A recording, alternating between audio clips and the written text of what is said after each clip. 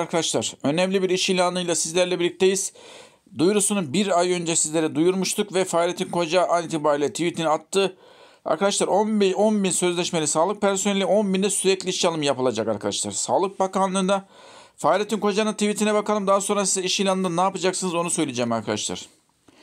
Alınacak kadroda temizlik hizmetleri, koruma ve güvenlik hizmetleri, bakım ve onarım hizmetleri, şoförlük hizmetleri, klinik destek elemanı ve diğer hizmetlerde görev yapmak üzere toplam 10 bin sürekli işçi alım yapılacak. 10 bin de sağlık personeli alım yapılacak arkadaşlar. Yani toplamda 20 bin alım yapılacak.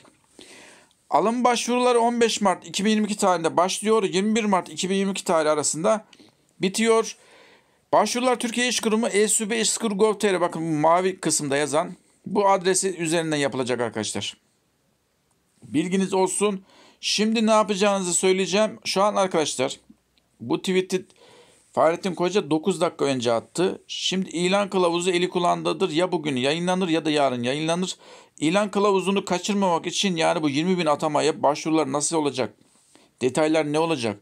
İlan kılavuzunu bekliyoruz. Dediğim gibi şu an ilan kılavuzu gelmedi. Şu an sadece tweet'i videolaştırıyoruz.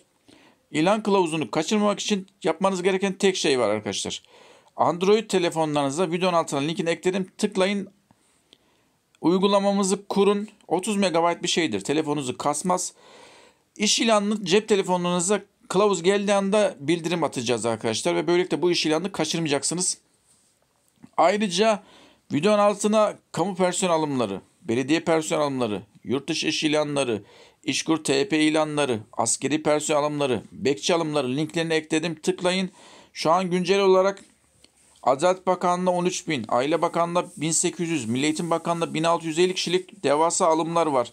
İş ilanlarıdır bunlar. Kamuda kadrolu ilanlardır. Hani TP gibi değildir, geçici değildir. Videonun altına hepsinin linkini ekledim. Tıklayın, iş ilanlarına ulaşın arkadaşlar.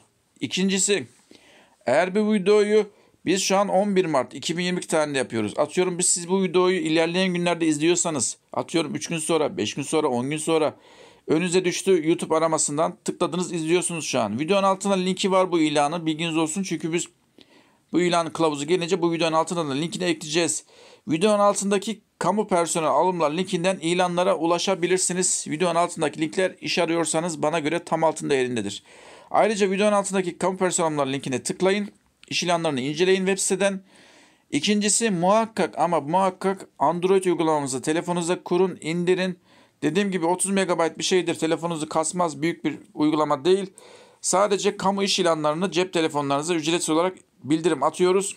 Bildirim atabilmemiz için o Android uygulamasını telefonunuza kurmanız lazım arkadaşlar. Evet gelişmeleri vermeye, vermeye devam edeceğiz. Dediğim gibi videonun altında iş ilanları linkleri var. Kamuda işi arıyorsanız videonun altındaki linkleri tıklayın. Ayrıca bu ilan kılavuzu geldiği anda hemen videolaştıracağız. Aynı zamanda videonun altına linkini ekleyeceğiz. Videonun altındaki kamu personelleri linkinden bu ilanın kılavuzlarına ve detaylarına ulaşabilirsiniz arkadaşlar. Tekrardan 10 bin sözleşmeli sağlık personeli ve 10 bin sürekli iş alımı hayırlı uğurlu olsun arkadaşlar.